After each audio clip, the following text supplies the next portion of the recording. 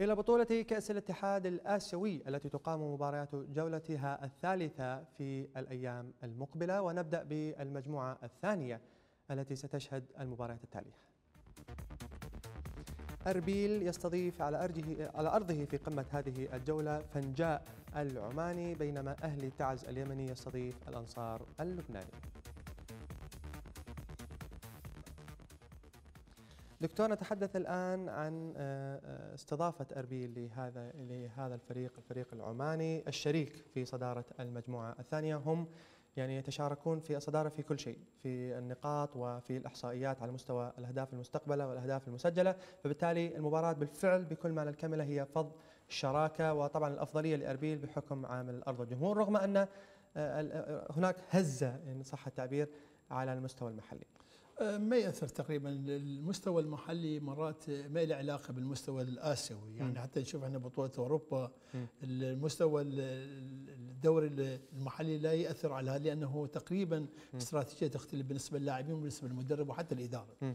أنا أصور أربيل هاي مباراة بالنسبة حاسمة بالنسبة له يعني. يجب أن يفوز في هذه المباراة طبعا لأنه في ملعبه ولو هو في ملعبه لحد الآن بالبطولات اللي شفناها سابقا غير موفق في ملعبه. يعني يمكن يلعب برا هو أفضل ما يلعب في ملعبه لكن آه، يجب أن يفوز في هذه المباراة وامكانيات فوزه موجود لأنه يملك لاعبين على قدر كبير من آه، الإمكانية العالية بالإضافة إلى وخبرة أصبح الفريق لديه خبرة صحيح في البطولة. خبرة اسيويه عنده موجودة ثقة بالنفس أيضا لاعبين آه، عنده هداف الدوري موجود عنده مثلا أمجد راضي أمجد راضي نعم. ولاعبين آخرين. أنا اتصور الفريق ما يقدم تقدم الإدارة والنادي والجمهور الموجود اللي سانده يجب أن يفوز في هذه المباراة. لكن الخصم صعب دكتور هو بطل صحيح. الدوري العماني في الموسم الماضي صحيح. هو الآن منافس أيضا على لقب الموسم الحالي ومثل ما قلنا هو يتساوى مع أربيل احصائيا في كل شيء فبالتالي هو ند أيضا لأربيل. 100% يعني إحنا أول مرة من نقول نقول إحنا عندنا مباراة مهمة جدا. يعني يجب أن يكون هناك من نقول ند الند أن اكو فاصله أكو ناس أو أكو لاعبين يعملون الفارق. هل إنه عندنا في اربيل لاعبين يعملون فرق؟ في موجودين نعم. لاعبين يعملون فرق وبالتالي ممكن يعملوا شيء. لكن الجيد إنه في أرضك تلعب بين جمهورك. يجب أن يكون هناك عندك حافز أكبر وأحسن من فريق العماني وبالتالي أنا أتصور يعني من خلال خبرتي من إنه اربيل يقدر يجتاز هذه المباراة. وهو ضروري جدا أن يجتاز هذه المباراة إن شاء الله. كل التوفيق للإمبراطور الأصفل آه، وصيف البطولة في تجاوز هذه المباراة وتحقيق نقاطها ثلاث للانفراد بالصدارة. دعونا مشاهدينا الكرام نذكركم بترتيب المجموعة الثانية قبل انطلاق الجولة الثالثة. مثل ما قلنا أربيل وفنجاء في المركزين الأول والثاني على التوالي متساويان في كل شيء بست نقاط ثم يأتي أهلي تعز في المركز الثالث والأنصار في المركز الرابع بدون أي نقطة.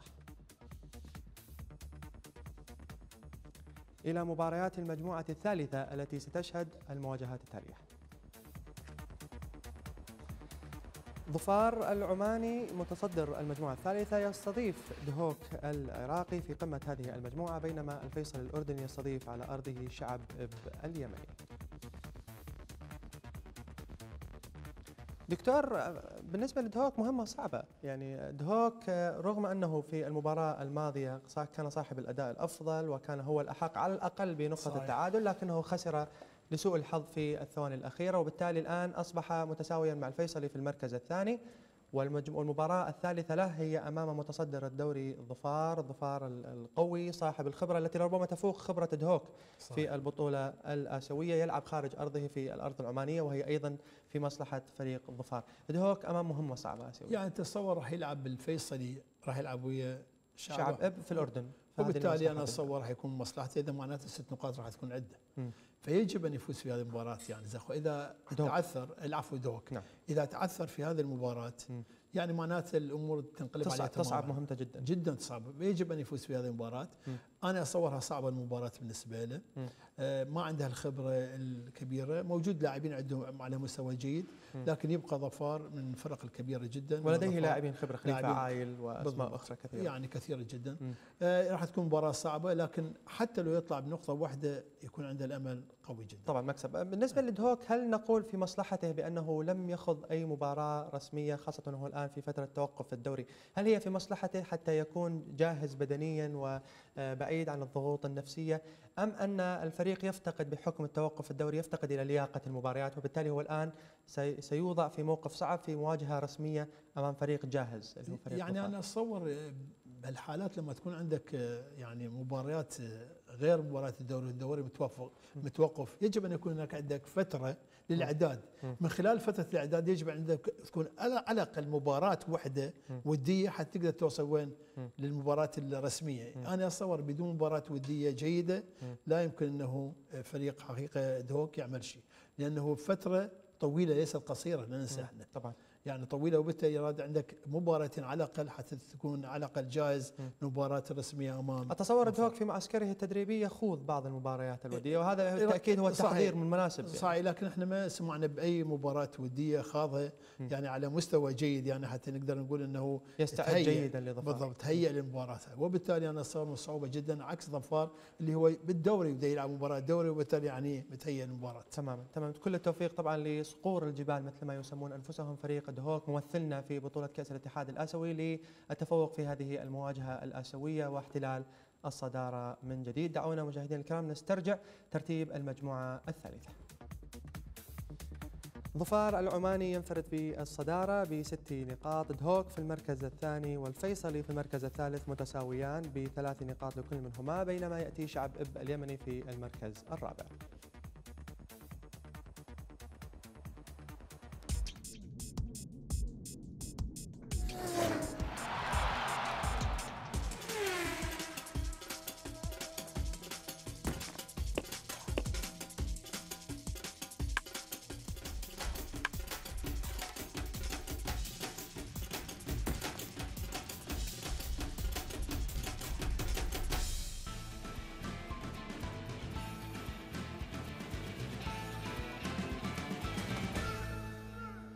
إلى الحدث الكروي الأبرز في بغداد خلال الأسبوع الماضي وهو استضافة ملعب الشعب الدولي للقاء الرسمي الودي الأول لأسود الرافدين في بغداد منذ عدة سنوات أمام نظيره المنتخب السوري الشقيق والذي انتهى بفوز صعب للعراق بهدفين مقابل هدف.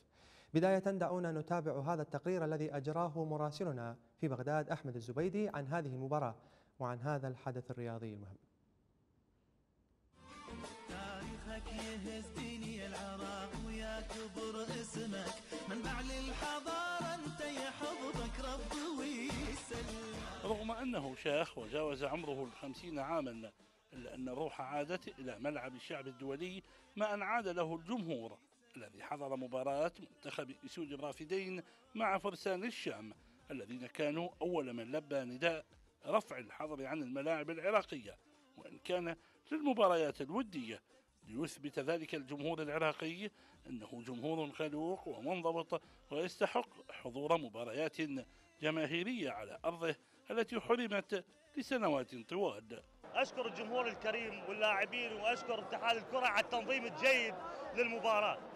بالنسبة للجمهور اليوم الجمهور كله فرحان بالمنتخب منتخب بسود الرافدين. يعني فاتحة خير إن شاء الله.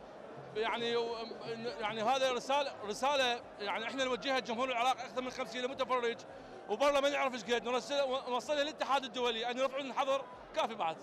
خطوة رفع الحظر عن الملاعب العراقية كان لها بالغ الأثر في إحياء الأمل لدى الجمهور العراقي الذي حضر منذ ساعات صباح الأولى من أن القادم أفضل وليكون هو نجم تلك الليلة التي رسمت ابتسامة على محيا الجميع وإن شابه بعض الأخطاء هنا أو هناك. والله متابعة يعني ممتعة كلش ممتعة. بهذا الملعب بغداد كبيرة كلش لأن جماهيره هواية وهواي يعني هواي خارج الملعب هسه واقفين يعني إن شاء الله يستمر رفع الحظر عن العراق. إن شاء الله وتستمر الملاعب اللعبات بأرضنا اللعبات الدولية كلها إن شاء الله. ومع رفع الحظر عن الملاعب حتى بدأ العراق يجني ثمار ذلك القرار سريعا. إذ لم تتوقف تلك النتائج عند حد المباراة بين العراق وسوريا بل تعدتها إلى وصول رئيس الاتحاد الأولمبي الآسيوي أحمد فهد الأحمد إلى بغداد بعد يوم واحد على تلك المباراة ليؤكد بعد زيارة المدينة الرياضية في البصرة حق العراق في استضافة خليج 22 لافتا إلى أن الانضباط الذي أثبته الجمهور العراقي خلال مباراة العراق وسوريا سيدفع بالاتحاد الدولي إلى ضرورة رفع الحظر الكامل عن العراق. اللي شفته اليوم هناك منظومة كاملة لاستضافة البطولة. على مستوى الملاعب الرئيسية فهناك ملعبين متجاورين تستطيع أن تقيم فيهم مباراتين بشكل منظم كما هو برنامج رسمي لمباريات كأس الخليج. اللي شاهدته اليوم محل إقامة للإعلاميين واللاعبين داخل منظومة المنشأة الرياضية بما يكفي الأعداد المطلوبة لأي وفد أو أي بعثة إعلامية سواء داخل الملاعب أو خارج الملاعب. اللي شاهدته اليوم منظومة صحية كاملة من خلال مباني ومنشآت تعتني بالصحة سواء الصحة الصحة اللياقة والتجهيز البدني أو الصحة الوقائية والعلاجية. الآن وبعد انتهاء المباراة بات على الاتحاد العراقي مراجعة جميع تفاصيلها والتدقيق بكل الإخفاقات صغيرة كانت أم كبيرة لتجاوزها مستقبلا لأن استمرار الأخطاء دون الاتعاظ منها لا يعني فشل الاتحاد فحسب بل قد يتسبب بعودة الحرمان الذي قد يستمر لعشرة سنوات أخرى بحسب مراقبين. لبرنامج ملعب الشرقية أحمد الزبيدي بغداد.